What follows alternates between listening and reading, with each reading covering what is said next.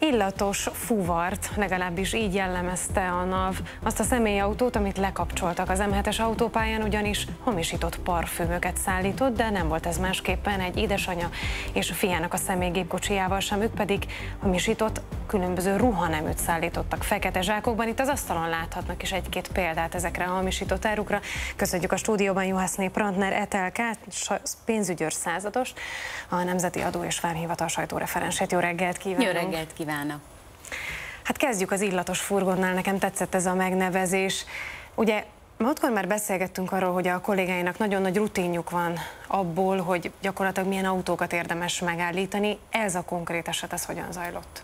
Igen, itt az M7-es autópályán, Fejér megyei szakaszán ellenőriztek a, a kollégáim, és egy furgont rutinszerűen kikísértek, hogy megnézzék tulajdonképpen mit is szállít, és a csomagtérbe egy hatalmas, letak, fekete fóliával letakart raklapokat találtak, megnézték, hogy mi van benne, és több mint ezer darab különféle ismert márkajelzésű parfümöket tartalmaztak ezek a jelöletlen ládák tulajdonképpen. Ilyenkor mindig szakértő bevonásával állapítjuk meg, hogy ez eredeti, illetve jogsértő termék. Itt is kiderült, hogy ezek a termékek hamisak.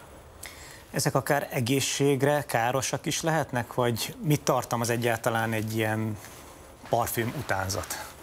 Igen, itt ez, ez egy nagyon érdekes, tehát nem csak a, az a probléma a hamis termékekkel, hogy jogot sért, tehát nyilván ez a legfontosabb, leg, legnagyobb gond, hogy jogot sért, de például olyan anyagokat tartalmazhat, ami akár az egészségünkre is ártalmasak lehetnek. Ugye nem mentek végig valószínű ezeken az egészségügyi eljárásokon, amiken az eredeti termékek, és nem tudjuk, milyen vegyszerek vannak benne, vagy akár a ruhák, milyen festékkel készülnek, a cipők milyen ragasztóanyaggal készülnek.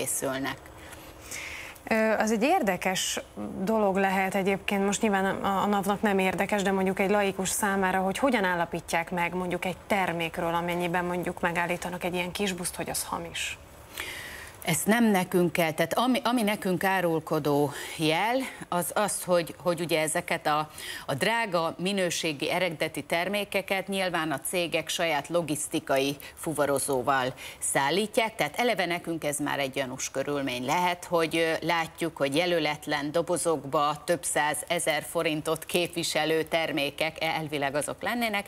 Mi ilyenkor mindig a, a, a szakértőt rendelünk ki, aki meg megállapítja tulajdonképpen, hogy ezek a termékek nem eredetiek. Tehát mi csak látjuk az apró jeleket, például itt is látszik. A... Igen, ezt a cipőt azért, ezt az Adidas cipőt, azt mondjuk el, hogy gyakorlatilag az Adidas cipőnek az egyik oldalán igen, a márkajelzésnél lehet a, látni. Igen, a cipőnél igen. például, hogy ez a, ez a cipő úgy érkezett be, hogy vannak rajta ilyen kis plusz kiegészítők, de ugye már egy, egy márkának a, a, a feliratával. Itt is látjuk a jó kis minőséget, hogy már most most a márkajelzés már jön le. Már jön le a márkajelzés.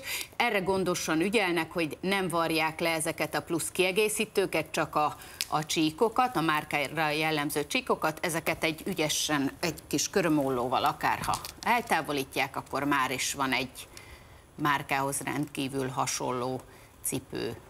És gondolom, és egy parfümnél is, meg pólónál is ez ugyanígy elő. Egy pólónál például az hogyan lehet megállapítani? Azon is a, vannak árulkodó jelek. Igen, a jogtulajdonosi képviselő az pontosan tudja, hogy a saját márkájuknál a betűk hogy követik egymást, milyen méretű, milyen távolság. Éppen vannak mondjuk pont annál a márkánál, van, hogy a, hogy a pipának ahogy van a, a márkajelzés, hogy a betűknek melyiknek kell hozzájönni. Tehát ilyen nagyon apró, ugye azért nem mondok el minden ilyen kis titkot, hogy a további ellenőrzések is sikeresek legyenek, de szakértő, illetve a jogtulajdonosi képviselő az pontosan tudja, hogy mik azok a jelek, amire figyelni kell. Nekünk, ami ilyenkor gyanús már rögtön a fuvarozás körülményei, a szállítási körülmények, a csomagolás, illetve itt a parfümnél is látszik, hogy ez már most kifolyt, tehát egy, egy eredeti több százezer forintos értéket képviselő illatszer, az nem engedheti meg magának azt, hogy kifoljon a csomagolásból úgy, hogy még nem is használta senki. Most egyébként, hogyha csak mondjuk erre az illatos furgonra gondolok, ez milyen értéket képviselt? Hát ez körülbelül 30 millió forint, ami vagyoni hátrányt okozott a jogtulajdonosának.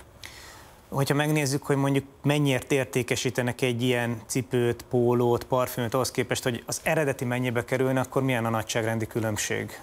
Hát több, többféle eset lehetséges. Van, aki eredetiként adja el ezeket a termékeket ugyanazon az áron, mint az eredeti. És van az a, a, a fajta elkövetési módszer, amikor féláron, tehát jóval olcsóbban értékesítik ezeket a termékeket, mint a, a boltba kapható. És hol értékesítik ezeket, hol lehet ilyenekkel találkozni? Piacon, közterületeken, mi ilyen helyeken szoktunk tehát nagyon gyakori például, hogy piacon, vagy a, ott a telefonok esetében még az is előfordul, hogy autópálya pihenőkben. Hogyan jelezzük, vagy hogyan igen, hogyan jelezzük a hatóságok fele, hogyha ilyennel találkozunk? Ö, telefonon is lehet hozzánk bejelentést tenni, de én óva intenék mindenkit, hogy, hogy olyan helyeken vásárolja meg ezeket a, a termékeket, ami nem nyomon követhető, illetve egyértelmű, hogy, hogy nem eredeti. Nagyon szépen köszönjük, hogy itt volt velünk. Köszönöm szépen.